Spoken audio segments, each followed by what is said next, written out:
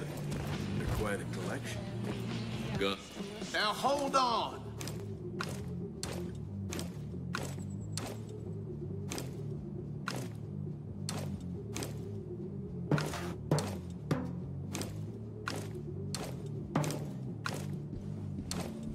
Hope the cult hasn't figured it out.